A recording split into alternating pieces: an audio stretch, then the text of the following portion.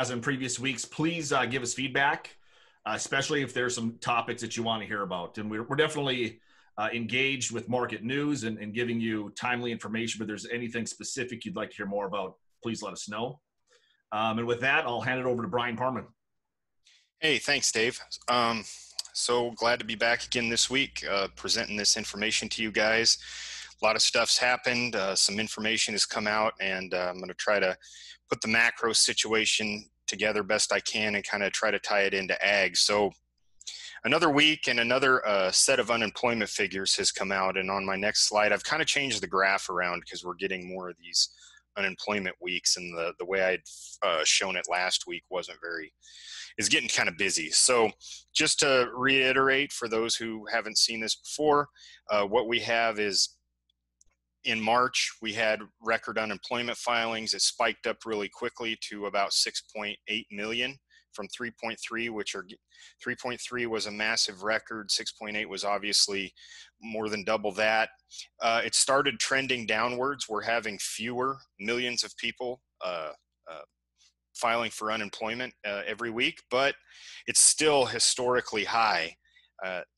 When when you when you think about the fact that before this had ever even occurred, it was 695,000 was the most people who'd ever filed for unemployment, new unemployment filings in a week. And so my next slide kind of shows exactly uh, when we talk about unemployment, that the there are different metrics for actually how it is uh, uh, basically analyzed okay? And some folks will say unemployment and mean one thing and some folks will say unemployment and mean something else.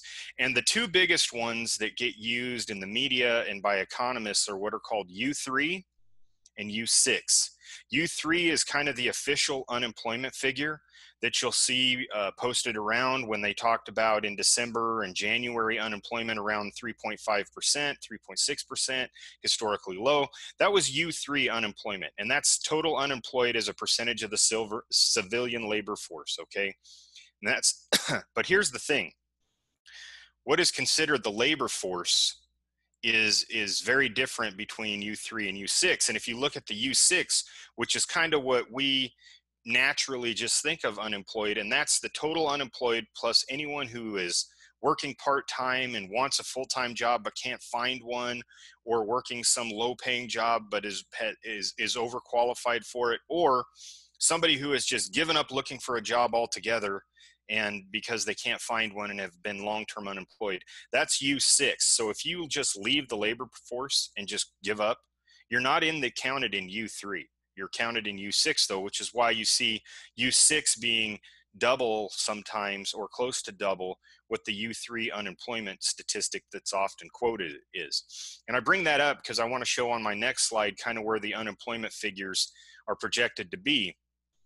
So the uh, 30.4 million new unemployment filings uh, due to the shutdown, okay, due to the national shutdown and COVID.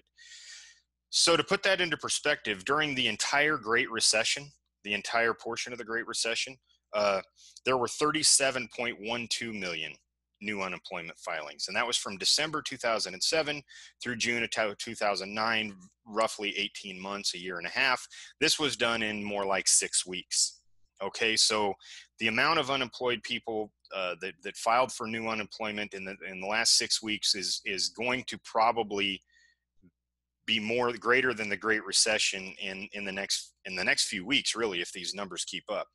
So the U3 projection is between 18 and 24 percent, and we just talked about what U3 is, which would be that that folks who are still looking for a job, uh, things like that. 18 to 24 percent. The U6 projection around 30 or more of the population who is either let, given up looking for a job or grossly underemployed or only working part-time but would like to uh, find a full-time job. So the question will be when it comes to this unemployment figure and it's and it's a question on all of our minds and, and all of us economists whether it's tim frey and myself is how fast are these jobs going to come back and how many will actually come back?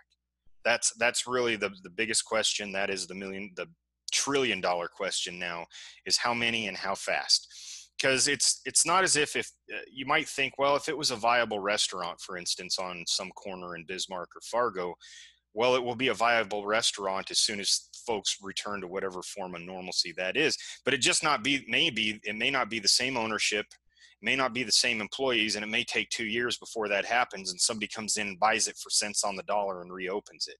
So again, that's speaking to how fast will the jobs return, and and there may be some sectors where jobs don't return at all. Next slide, please. So let's talk a little bit about glo- uh, global growth because this is a global pan. It's called a pandemic because it's global, right?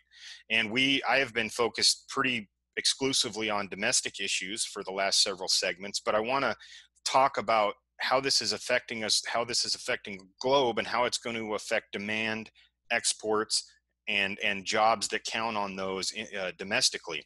So we look at Canada GDP growth rate, and, and, and, the countries I've selected. Let me back up. The countries I've selected are our biggest trading partners. That I, I didn't choose them randomly. There's some of our biggest trading partners, and especially some of our biggest ag trading partners. That's the important thing. So Canada basically had zero growth in uh, the first quarter of 2020, which uh, spoiler alert, that's the best one I'm going to show is almost zero. Uh, and then the U.S.'s GDP growth rate minus 4.8 percent, and that's a that's a, a, quarterly number. So my next slide shows two of our uh, next biggest trading partners. Obviously, China is a big one.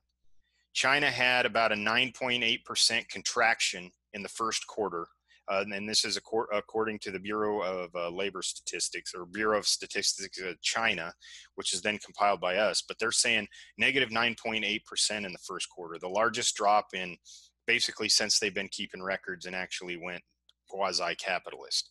Another big trading partner, Japan, their growth rate negative 1.8% in the first quarter. And remember, Japan wasn't a couple of those uh, countries over there like South Korea and Japan it was thought that they had a pretty good grip on things and didn't i don't think were as heavily impacted as, as some other countries. But that china number is is, is extremely uh, an extremely big contraction. Next slide please. So the eu another one of our big trading partners down close to 4% in the first quarter and then, of course, Mexico, who was pretty late to being impacted according to the data we got on the number of COVID cases based on that Johns Hopkins map that everybody looks at, down about 1.6%. Uh, they, they'd been contracting a little bit the previous four quarters, but uh, apparently, uh, you know, they were, they were not uh, without, without effect. And the big thing to keep in mind with this is this really only impacted uh, for us in Canada and Mexico the last couple of weeks in March. Now, China was impacted obviously much earlier than that, as were some of the other Eastern Asian countries like uh, Japan and South Korea, which I didn't show, but they were impacted much earlier. So, so the severity, like in China, for instance, where everything originated, is obviously much worse. And the expectation is that in the United States is going to show the same thing. Next slide, please. So the initial Q1 GDP contraction of negative 4.8% in the United States, uh, 3.5% was expected. That was the projected contraction. And remember that again, that was only two weeks. Now, the other expectations are that it's going to be revised downward. It is very common during recessions to go back and re revise the either growth or contraction back up or down uh, because the information coming in is very is lagged it's heavily lagged. So they'll go back and say instead of 4.8% it was actually 6% or 7 uh, and it could be quite large or maybe even double. Now the predictions are for this is predictions for q2 in 2020 it will be the single largest quarterly drop in gdp in us history. That is I'll say that again. The predictions are that it will be the single largest quarterly drop in U.S. history. The Congressional Budget Office projects 12% second quarter decline, and if I annualize that, it becomes a 40% contraction in U.S. GDP. So literally, our economy contracts 40% in a quarter. That is that is that is pretty incredible. So if you look at 12% plus the the previ- uh, the the quarterly drop in Q1, uh, it is it is pretty dramatic and obviously unprecedented. Next slide, please. So the big sectors that are affected: consumer uh, spending, which is about 70% of GDP, declined to 7.6%. So 70% of our gross domestic product went down almost a uh, little over 7.5%. Durable goods spending, those would be like TVs, things that tend to last a long time, uh, including cars and stuff, down 16%. Services, I'm a little surprised that services were only down 10%, considering service industries were hit pretty heavily. Although, you know, you've got some folks like tax preparers and stuff who weren't really, maybe not impacted as much. Exports down 9%, and then imports down 15.3%. So I guess if you wanted to see a close, uh, uh, a reduction in the in the gap between imports and exports, that's one way to do it, I suppose, is shut everything down. Next slide, please. So just a quick note on the Fed. The Fed, there were some comments that came out from our Fed Chairman Jerome Powell and uh, other uh, heads of Federal Reserves around the country, and basically indefinite low interest rates. That's pretty much what they've said. It's probably not going to be quarters, it's probably going to be years. And the target that they want to reach, and this is something I've said in many of my talks many times that you guys have heard, about a 5% unemployment rate and 2% inflation is kind of the Fed's target. And and the other thing to the big concern that they're having is the possibility of deflation. Okay, and if you guys remember, inflation is where your buying power, your dollar is reduced. Uh, prices are going up, so every dollar you have will buy less. Deflation is the opposite. Every dollar you have will buy more as prices actually decline. And that sounds like a really good thing initially, but it's but it, it really isn't because a lot of us, especially in agriculture, carry debt.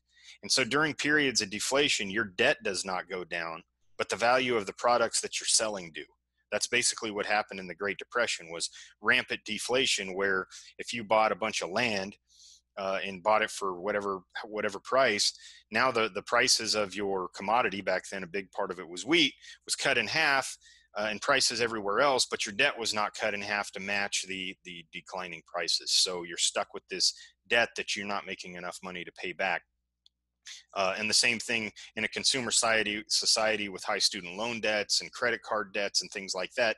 Deflation is not helpful to, to the average consumer. And the Fed chairman also said that more spending will be needed from Congress. We've already had unprecedented spending and unprecedented doesn't really do justice to the amount of spending and stimulation that's been pumped into the economy right now. But federal uh, Fed Chairman Powell said that more may be needed it it may wind up happening. Uh, again, we just don't know, but I'm sure that you guys have seen in the news all the ideas being kicked around from mortgage forbearances to living wage payments to another round of uh, uh, paycheck, you know, money being sent just to just to consumers. So I believe that was my last slide. Uh, I'm obviously going to be on to address any questions that you might have on everything from interest rates to the macro economy to housing to whatever. So with that, I'd like to turn it over to uh, Frayne Olson. Thank you. All right. Thank you, Bryon. Um, so I'm Frayne Olson. I'm a crop economist and marketing specialist with NDSU Extension.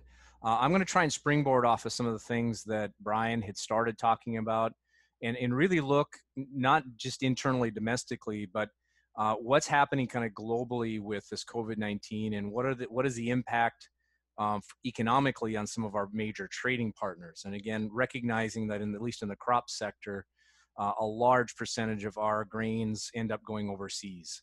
Uh, just again, a reminder, 40 to 45% of our soybeans are exported, approximately 50, 50, 50% of our wheat is exported, and about 15%, one five, is of our corn is exported. Again, so markets have a huge role to play in, in kind of the, the pricing of grain and, and potential economic recovery. So on my first slide, I try and, and provide just again a background on the definition of demand, because right now, the, the real underlying concern in the, in the markets is what is our demand base? How is our demand base changing? What does this demand base really look like? And so I wanted to make sure everybody understood what we're talking about. The, broad definition of demand is a consumer's desire to purchase goods or services and willingness to pay a price for a specific good or service. So in a, in a very broad context, that's, that's what we talk about. But for this discussion today, I really want to talk more specifically about effective demand. And, and again, it's not necessarily just a play on words, but there is this, some subtle differential, different definitional differences, excuse me. So effective demand is a consumer want or need supported by an ability to pay. And the emphasis in this definition is on first the incomes. Your income provides individuals with the purchasing power which exercise in a marketplace. And consumers have a budget constraint. We also we often forget when we talk in very big picture sense that consumers have a budget constraint. So given your budget, how do you prioritize what you're going to spend your money on? And one of the reasons we're watching the employment numbers so, so closely, as well as we're looking at kind of general economic um, contractions and the rate of those contractions, is really tied back to what is this consumer's budget constraint. Um, if you've already been laid off, or if you're concerned about job and job security, obviously your vision of your budget constraint is very different than if you were fully employed and the economy economy was growing and expanding. So on the next slide, I tried to provide some background and context for kind of how large is the world's economies. So as we talk about these contractions, either expansions or contractions, typically in percentage changes, we've got to realize that these different economies are of different size. Now, I've tried very hard throughout the rest of my presentation to use one consistent source of data, and I'm, I'm, I'm leaning on the International Monetary Fund because they do a lot of work globally and they try and compare what's going on in different countries. So again, I'm worried about consistency of data and making sure that when we're making these relative comparisons that we're doing it correctly. So the most the most recent consistent data we have closeout of accounts is 2018. You can see in the United States as a single country is the largest economy in the world. Um, on the right hand side, I also put an estimated population. Again, that's from the US Census Bureau. Uh, all of these numbers, again, on population are from U US Census Bureau. Um, so in the United States, we've got about a $20.5 trillion economy. China is about a $13.3 trillion economy, but obviously they have almost, well, a little over four times the population base we do. Um, and then those are really the big two single economies. Then we drop down to Japan and we get into some of the European countries like Germany, the UK, France, Italy. Um, um, India is also one of the top five or six. Again, you can see the population base there. And I often get questions well, why don't we focus more on exports, agricultural exports into India? And part of it is their economy is not quite as large, but they're also more self sufficient in agriculture. So, you know, there's a lot of things going on kind of behind the scenes. But I did want to give a, a, an indication of the relative size of economies and that when we talk about a contraction in the US economy, that has implications not only here, but also internationally. On the next slide, I, I also look at who are the major exporting countries. Who do we sell as the US sell most of our agricultural products to? And again, um, the ranking we have here, this is USDA Foreign Ag Service data. The numbers here are from a data set that are slightly different than the data set that's being used for the phase one agreement. So the phase one trade agreement is using a slightly different bundle of agricultural products.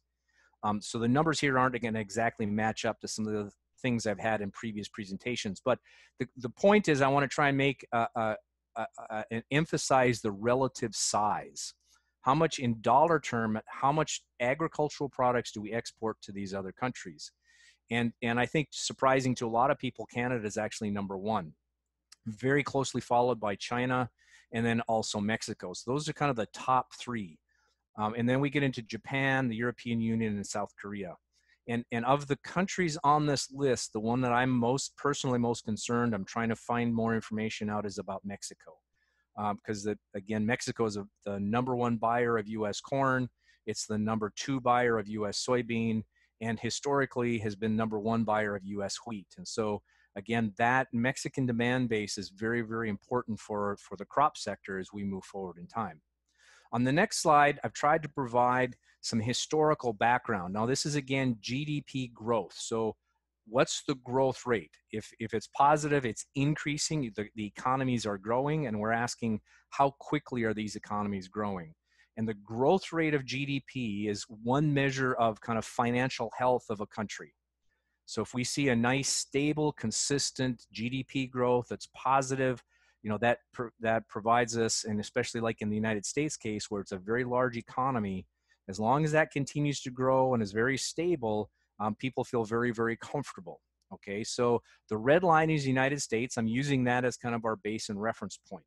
Now, if we look at the, the countries that we sell most of our agricultural commodities to in the form of value, um, you can see that uh, China actually has a growth rate on a percentage term that's larger than the US. And, and I won't go into the details of why that's happening, but just understand um, we're trying to do accounting of these growth rates as accurately and consistently as possible.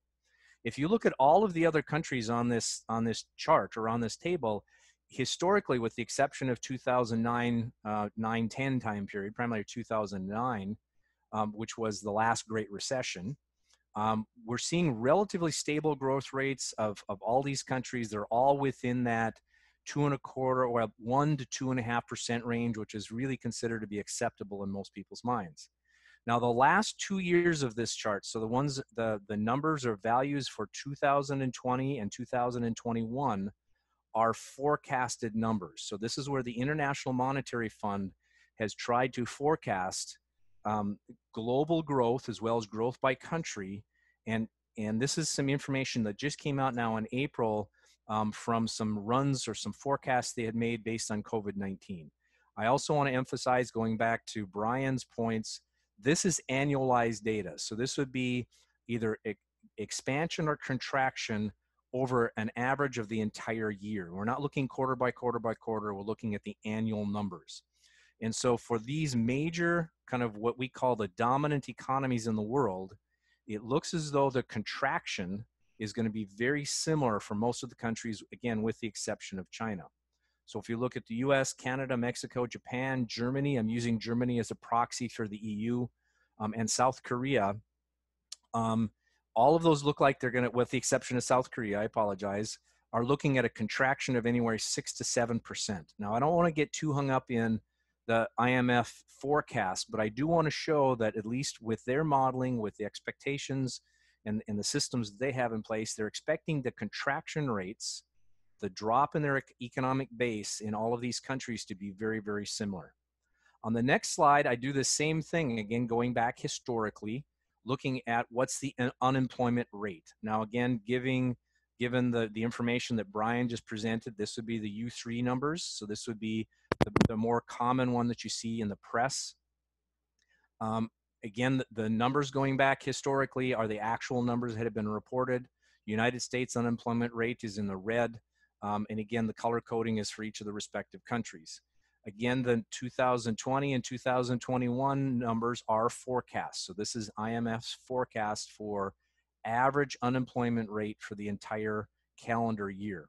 So again, based off of their forecasting, what they're expecting is a, a relatively large pop in the um, unemployment rate with a slight drop in that percentage rate as we get into 2021 and, and start to, to build on the economic recovery. On the next slide, I've done the same procedure. Okay, so the, here's GDP growth rate. So this is growth rates of their economies for some of what we're considering the emerging ag trading partners. So primarily in South Asia. When, when we're in this region, we look to the Asian markets as kind of our primary demand base for the products we grow in North Dakota. We ship most of our, our grains through the PNW. We have logistical advantages going into some of these countries. I also want to point out again the red bar, the red line is the United States. Um, the yellow line is the Philippines, and I do want to target the Philippines for just a minute uh, because the Philippines is the number one buyer of U.S. spring wheat. And so this Philippines market is, is critically important for U.S. spring wheat because it is by far the number one buyer of U.S. spring wheat. Now, when you look at the growth rates, the average growth rates for these South Asian countries are have been well above what we see in the United States. Now, their economies are smaller, but they're growing faster.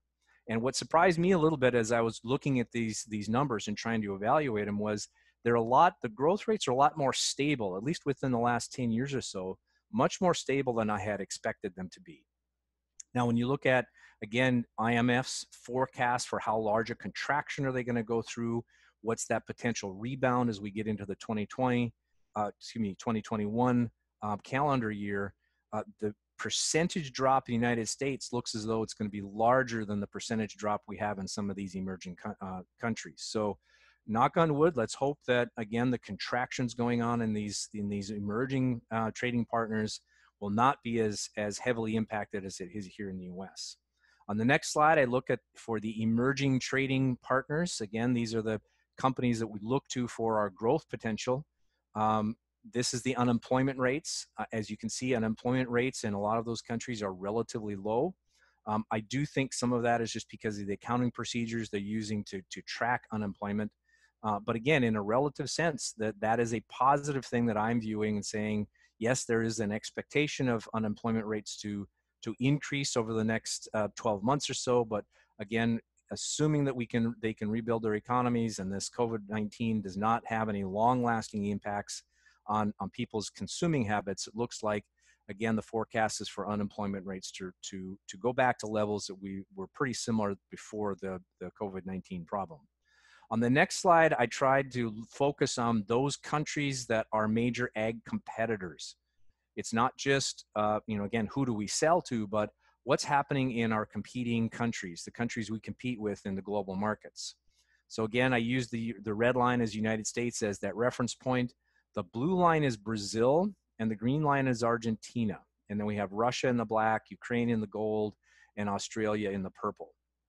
I guess I want to point, I guess I want to, if you can isolate out and look at what's happening, I'd like to point to both Brazil and Argentina and, and both Brazil and Argentina have had their economies, Brazil's economy is relatively large in the global sense, uh, but they've had very large swings in their GDP growth. Their, their economy is not nearly as stable as many other uh, developing countries as we look forward. And I know uh, Brazil is very heavily dependent upon oil and oil revenue, and of course, we've seen a major drop in in uh, crude oil prices. And so, there's increasing concerns about the economic stability of the Brazilian economy in a broad sense, as well as in the Argentine economy. And then my last slide is the unemployment rates for again our major comp- competitors, the, the countries that we're competing with selling our product. And as you notice, the unemployment rate in Brazil has been um, high and growing for you know the last seven or eight years. Um, this COVID-19 outbreak is not going to help with that. Um, Argentina has also had relatively high unemployment rates, again signaling that their economies are not as strong as as they historically have been, or or relative to the the strength of the U.S. economy, or what we would consider the major economies of the world. So, just in summary, we we are watching this very closely. We're watching not only how is the economic impacts um, uh, of COVID-19 impacting the people that we're selling to, but also the folks that are competing with us in the global market. And so with that, I'll hand things off to Tim.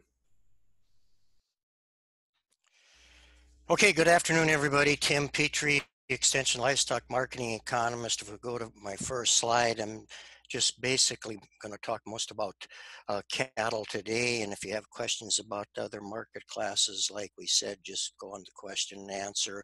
Last time, I uh, showed you the cattle on feed estimates because the report was coming out after we visited last year or last week, I should say, and uh, the report came out about what we expected. We expected cattle on feed to be down. We expected placements to be down. The average of the estimates, you know, 18% or so, and and uh, and a lot more cattle marketed in March. About 12% more was the estimate, and the actual even came out uh, more pronounced cattle on feed about 94% and and we placed about 77% of what we placed a year ago and we marketed over 13% more. So uh, later on i'm going to talk more about north dakota prices but this is one of the reasons why we're still seeing a good demand for seven to eight weight cattle in north dakota because the feedlots in nebraska sold a lot of cattle and they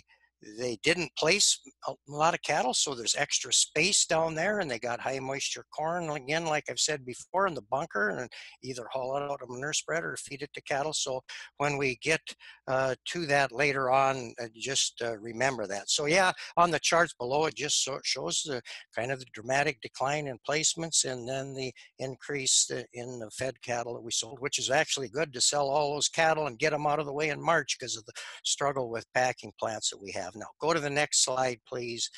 And uh, the question then is how is North Dakota doing on marketing? Did, did we sell a lot less? And then the other thing that we want to cover is for that uh, Corona Food Assistance Program coming out, how many cattle might be eligible for a payment. We have no idea how much the payment is going to be, but how many are eligible. So two things here. Here's the North Dakota Stockmen's Association uh, brand inspection report for both uh, 19 and 2020 for January through March. Now the, uh, the CFAP law again goes through April 15th, so there would be a few more, but this kind of would tell us how many are eligible. And then uh, this wouldn't be just for March like we did on the cattle on feed. This would be for January through March. So uh, the top, well, you see there's steers, cows, heifers, bulls, calves, horses, the total and so on. So 2019 gives you the number there.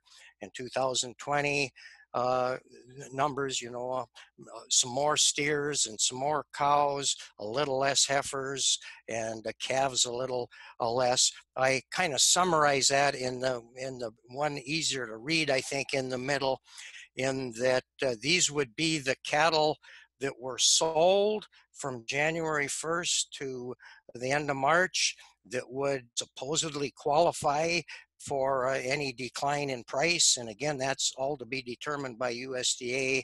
Uh, in total, there only down about 17, uh, close to 18,000, I guess, uh, this year versus last year. But we look, so we've got about 365,000 uh, ca- calves and, and background cattle that sold during that time. So we got a lot waiting in line for a payment.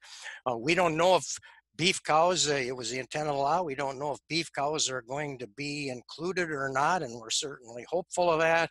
On January 1st, as you see in the map at the bottom, we had, uh, you, you, know, 995,000 uh, uh cows there. So go to the next slide.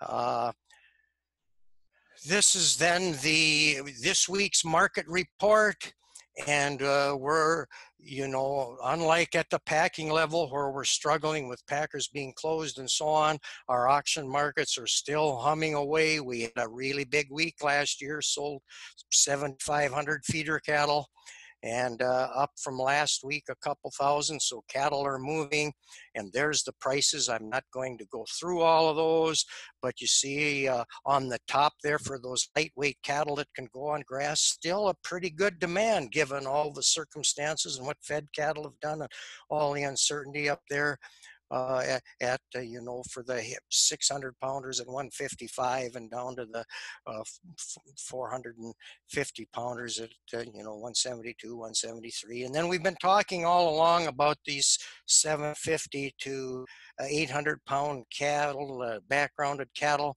Again we did an average of 130 again kind of a wide range that always occurs there and just mention you know those fleshy cattle just uh, above the bottom uh, red circle are really getting discounts. So it's probably too late to tell you now, but really be careful of shoveling the corn to them because you're going to get a discount. But so anyway, uh, given all the circumstances, respectable prices, and I'll kind of relate that to the U.S. situation in a minute. So go to the, if we go to the next slide.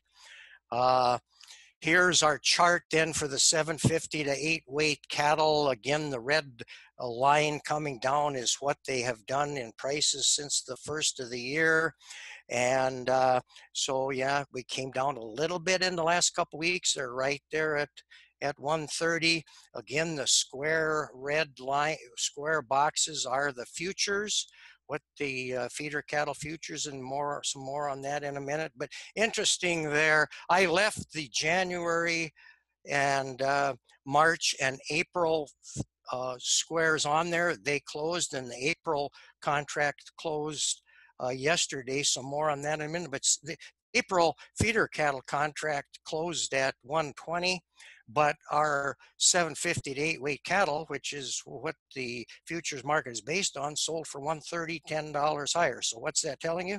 It tells you there's a really good demand for calves up here and they're selling better than in the rest of the US. And so, you know, uh, I, am just trying to look for some silver lining. I know that's a lot lower price than you expected, but on the other hand, things could be worse because the uh, because they're selling for less in the, in the U.S. and we're about ten dollars higher there. And so when we go to the next slide, just to emphasize that a little more, here's the April feeder cattle, and then the CME cash index is the green line, and that CME cash index is just all the cattle, all the uh, 700 to 900 pound cattle sold at markets reported by AMS uh, in in the U.S. and uh, and the two need to come together at the end.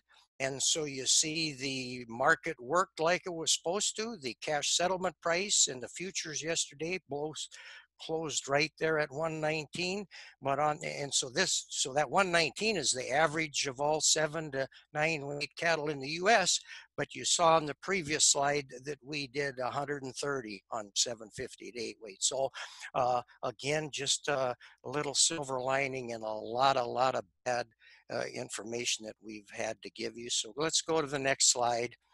Uh, and uh, very busy, busy slide. And all I wanted to do here is just throw a bunch of different headlines and there's all kinds of misinformation being thrown about and I'm not going to go through every one of these and you can see but I do want to hit some high points on the top one uh, kind of small print there but this relates to that coronavirus food assistance program we may have given you a little false hope last week in that we said it was that that USDA was going to submit it to the OMB Office of Management and Budget uh, last week, and then they had a couple weeks. And it looks like maybe the USDA didn't get it there last Friday, and and some question is it today? And again, OMB has a couple weeks, so again, don't, don't expect a payment here in the next couple of weeks, I guess is what we're saying, because, uh, you know, it's maybe, and maybe it rushes through before that, but it's just a monumental task USDA has, and then the OMB has to look at it and then go go back to USDA and so on. So it'll probably take a little while. The other thing then that I want to cover is this Defense Production Act, uh, as it on those uh, that that second one on the right hand side there that uh, Trump issues the uh, you know that that uh, the act to Defense Production Act to keep uh, meat plants going. And uh, again, a lot of misinformation there. And so I just want to clean a little bit of that up. One is that Packers do not have to open up. Some people say now Packers have to open up. They do not have to open up it does what it does and the next one down there uh, purdue says of course it reduces the liability and that packers have a defensible answer for opening up and uh, but again the liability question is probably going to be in the courts the Packers still have to follow CDC and OSHA guidelines, and if they do that, then uh, you know they're on the right track. Uh, However, the act does not force employees to go to work if the packing plant opens up and says you got to come to work, employees, because Trump said so. That isn't the case. Like might be a wartime issue where you draft people and they got to go to war. They don't have to go to work. Uh, the government can't force them. And on the other hand, uh, if they quit, they and don't come back and they quit, they aren't eligible for unemployment benefits. So um, many of them may think about coming back to work because otherwise they they they wouldn't qualify for unemployment. Another thing that it does do is it keeps local government from closing plants. There have been issues where mayors have I'm closing down that plant because whatever it's full of coronavirus or whatever. And so governors and mayors now can't shut a plant down because the president's uh, rule there supersedes that. Another misinformation is this prevents us from exporting, that there can be no exports. It has to stay in the US for domestic consumption. I'm talking about meat here, and we do export like, you know, Frayne was talking about. We export 30% of our pork and 12, 15% of our beef and on down the line. It does not uh, eliminate exports. In fact, when Trump signed this bill, he said, I want exports to continue and keep on going and do everything we can to continue the export market. And he also announced that as of July 1st, the USMCA, US Mexico Canada trade deal would be effective because all the countries have signed off. So as July 1st, that will be effective. Uh, also, some information about contracting uh, in saying that now packers do not have to honor contracts for feedlots that have contracted cattle for them, and that is not correct. This does not uh, let them out of contractual arrangements. One aside to that is there's a thing called force majeure, and Frayne is really an expert expert on this. So later, if we have a discussion there, we might bring him in. But force majeure is part of a contract, and if written in, says for some acts like wartime or uh, you know, other act of God and other things. It's a small print in contracts that said then we can use force majeure to not honor the contract. So if that was in a contract, that's separate from the Defense Production Act. And in that case, they could uh, nullify a contract, I suppose. But uh, then is coronavirus an act of God is probably a legal question. So, you know, I'm probably opening up more can of worms here than I intended to, but, uh, you know, just doing some of this, uh, talking about some of that. So uh, I'm not going to read through all those in the interest of time. We got to move along. On the bottom, that highlighted thing I think is kind of inter interesting. Congressman uh, Peterson in Minnesota uh, is promising for livestock that have to be uh, euthanized or whatever or depopulated. He says uh, that they're going to be covered in the next COVID bill. And again, maybe there's some more good news in that he says there's going to be another COVID bill. And uh, probably not a surprise to a lot of us. There might be several more, but he says there's going to be one. And so I think that's the end of uh, my prepared remarks, and we'll turn it over to uh, Ron, I think. Or is it David? Ron, yeah. Good afternoon. Thank you, Tim. Uh, I'm Ron Haugen, Extension Farm Management with NDSU. And I just have a couple slides here to show you. I wanted to talk to you about some Bank of North Dakota loans. So my first slide then shows uh, uh, show, uh, shows a couple uh, um, loans that Bank of North Dakota actually kind of re, uh, repurposed uh, for businesses affected by COVID. So there's two financing programs to assist North Dakota businesses, and they actually just became available uh, last Wednesday, April 29th. Uh, one of them is called the Self Loan. Uh, it's small small employer loan fund, and the other one is a CPRP, which is uh, a COVID-19 PACE recovery program. Now, so they've allocated $200 million for interest buy downs and $50 million for low interest loans. Uh, the buy downs are, uh, they, of course, Bank of North Dakota will be working with lenders and the buy downs will be leveraged to provide uh, up to two billion in loans. Now, I want to emphasize that these that these programs are not available for farmers at this time, but uh, just to make you aware of these programs for now. Uh, those that are interested uh, in this, just go to the website uh, as, as, I have listed there. Contact the Bank of North Dakota for for further details. I'm going to get into some of the uh, some of the information on the on these two types of loans. So the ne- the first the next slide shows some information regarding the self loan, the small employer loan fund, and and these are just highlights for the for the details. Please contact the Bank of North Dakota. And so this loan is, uh, is for uh, businesses that are uh, that they have economic injury as, as the result of COVID, and it's for North Dakota businesses with 10 employees or less. Now, uh, those are actually 10 full-time equivalents. So if you have some part-time employees that aren't working full days, uh, if your total is 10 full-time equivalents or less, you qualify. The proceeds are, are, are to support working capital, uh, recurring expenses, and inventory replenishment. Uh, these funds cannot be used for capital purchases, business expansion, um, or refinancing exi exi existing debt, and also it, they can't be used for, providing dividends. Uh, if you have gotten, if a business has, has gotten funds from the PPP loans, that does not affect your eligibility for this loan. Uh, uh, the basic rule is that uh, the, you can get a loan up to the amount of fifty thousand dollars or six year or six months of your typical operating expenses, whichever is less. Uh, very formidable terms, one percent interest, uh, 120 months. You can also get six months um, of, of payment deferral. The next slide will show the uh, the PACE loan. And I, and I want to apologize. I have a spelling error on the title there. It's supposed to be CPRP. I got my uh, R's and P's mixed up. But the COVID-19 PACE recovery program. And this loan is also for anyone that has economic injury uh, as a result of COVID-19.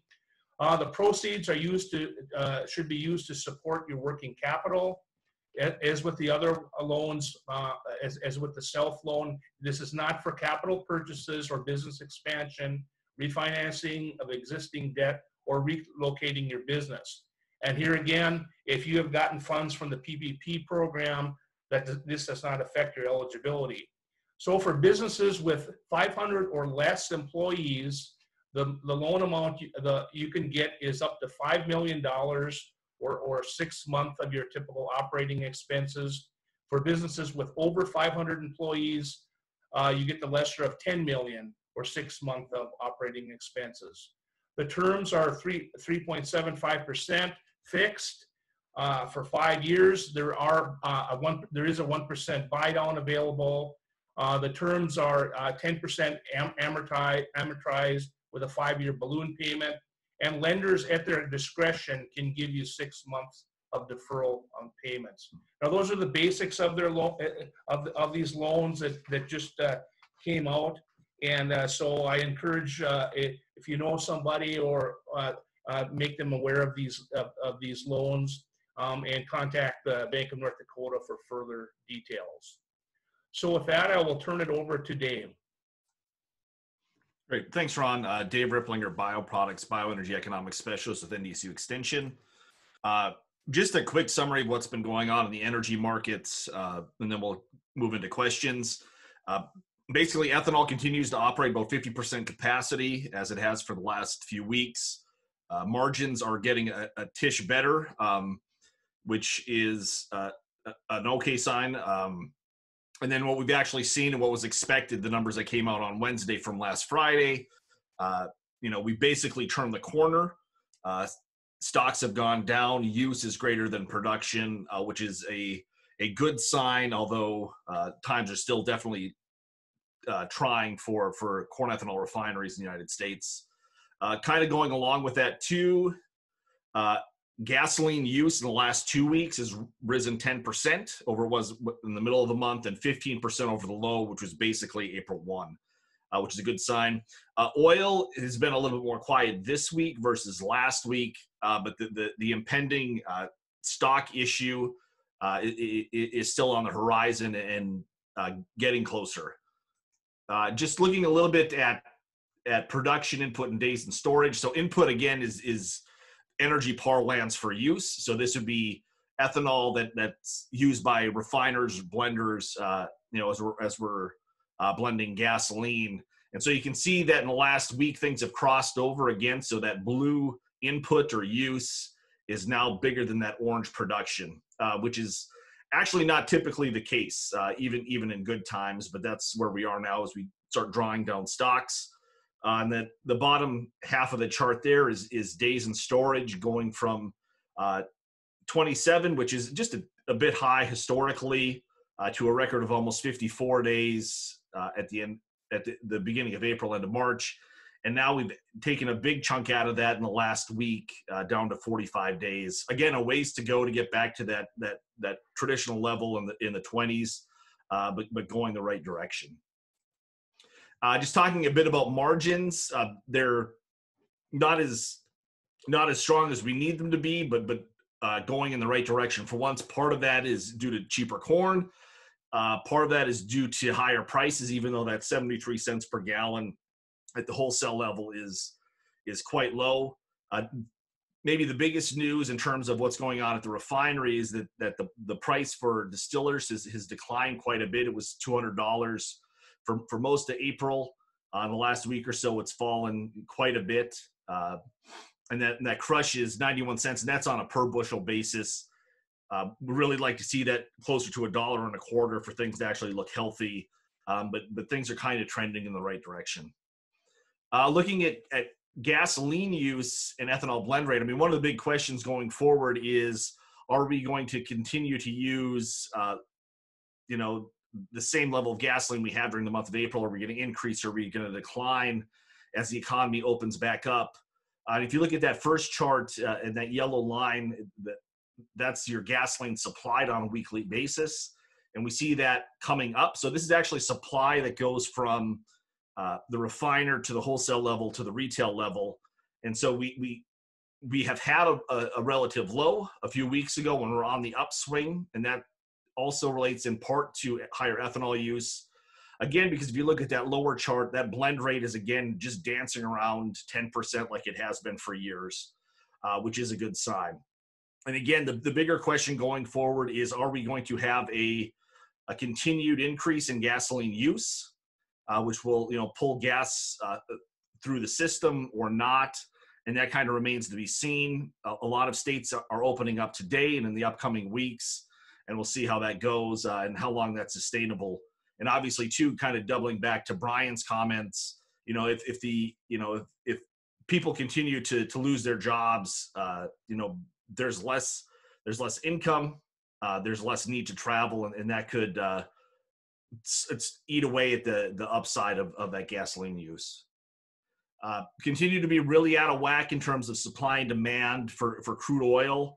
Uh, basically, you know, 1.6 million barrels a day, which is 10% of what we traditionally use uh, for for uh, crude oil. You know, that's down to 12.7 million barrels per day. Again, we're we're producing less. Uh, we're importing still quite a bit, as, as some folks are still delivering.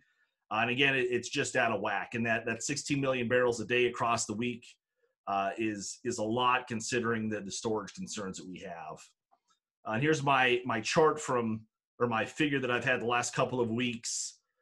Basically, in the you know since things have have really gotten severe in mid March, and this is looking just at Cushing. Um, and again, so the the working space in, in Cushing, you know, we've gone from from things being about half full to now things being 80% full, which is about as high as you really wanted to get under normal conditions.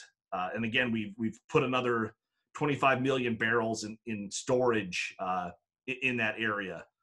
Uh, you can see that with the with the chart or with the the graph on the right hand side of the screen. And again, there's really not that far to go um, before things uh, become unworkable again because you need some space just to to, to move the fuel around. Uh, that's what I had for my presentation, and uh, we'll move into questions and answers.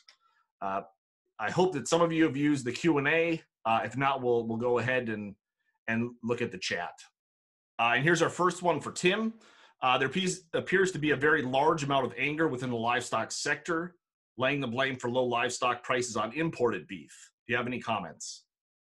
Yeah, you know, whenever we have a bad situation like this, there's always uh, blame and blaming packers and imports and and everything else. So, you know, my message there, I think, is from an industry standpoint, whether it's the beef industry, pork industry, or whatever, this is not a good time for us to be uh, fighting and pointing fingers and so on. The more united we can be in helping get through this, the the better we are. Actually, uh, from an import standpoint, you know, we just showed some charts on imports, but you know, our imports are actually uh, down.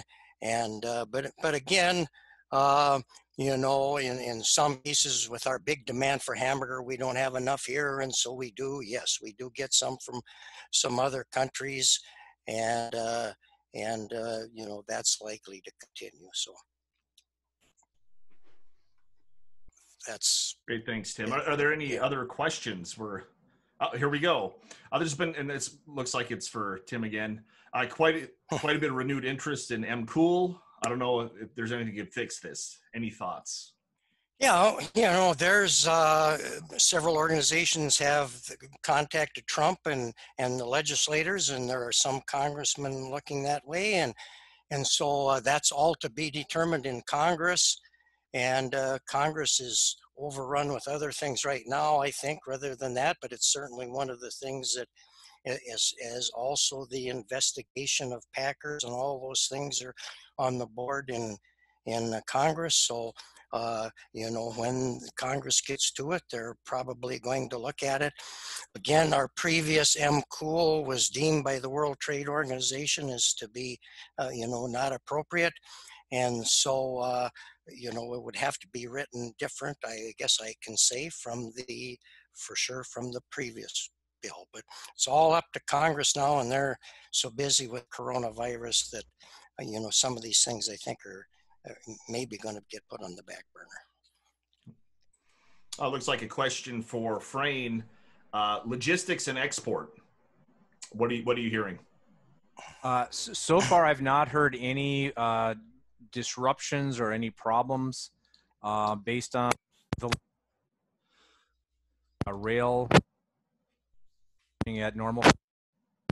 Um, the exports out of the ports, out of the PNW, at least for this region, have been uh, going smoothly. Uh, we did get recently some now reports of some additional uh, buying. Uh, China came in and bought some U.S. soybeans for delivery in this uh, marketing year, which is is favorable for this region because of the kind of the logistical supply issues. So um, I have not heard of any any problems or issues showing up yet. Uh, again, everything seems to be working smoothly.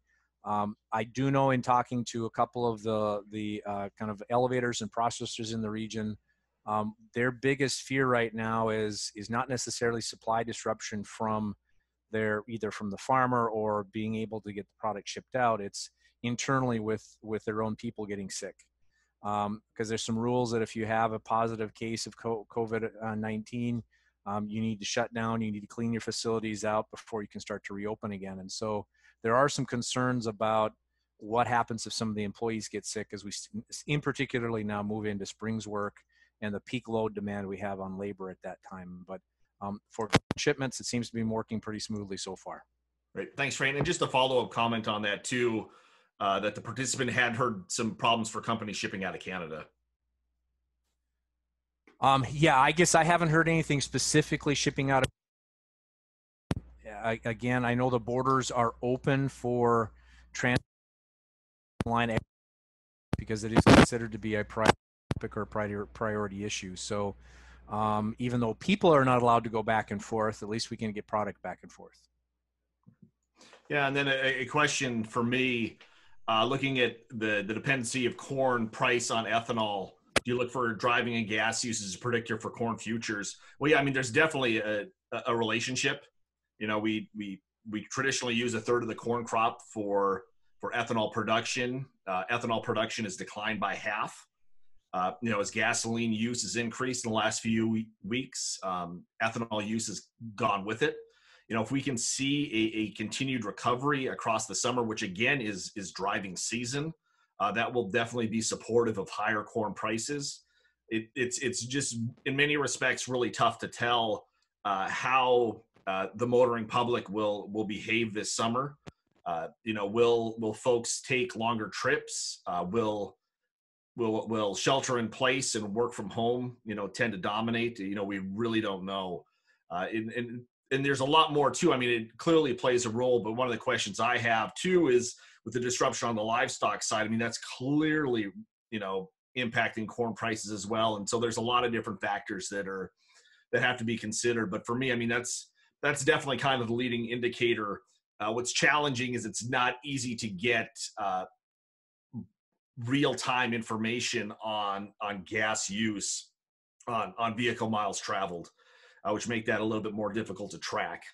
And in fact, I mean, the best way to look at it is just to see, you know, how much gas is supplied on a week by week basis, which is still a trailing indicator.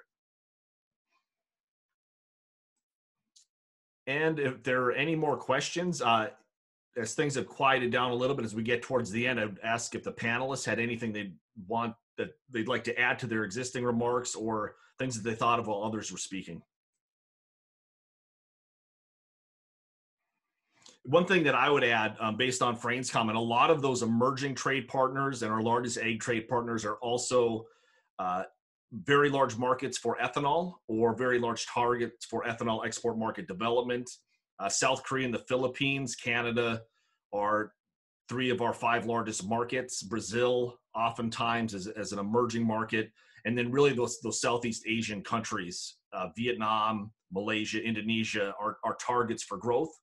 And so, their uh, relative resilience uh, to, to COVID is, is, is, is good news. Um, uh, you know, another, another small piece of good news for, for the ethanol industry. Just to, to follow up again, I want to thank everybody for participating. Uh, again, this is this is going to become a you know it's going to continue as a weekly uh, program for Extension Agribusiness. As we've kind of moved over to this webinar uh, uh, license, this webinar setting, we're going to keep this same URL from week to week at the same time. So feel free to come back. Uh, the practice is a little bit different. You know, you were in a waiting room. Um, we also had to use the Q and A tool now, uh, and so uh, we ask it. You know, if you're enjoying this, to, you're welcome back week by week or to share it with your colleagues. Uh, and as Scott pointed out in the in the chat, uh, please do uh, share your your feedback with us in terms of how we're doing and what we can do better and what we can add. Um, and so that I'd like to thank everybody uh, for for joining us this week, and, and we'll talk to you again uh, next Friday. Bye.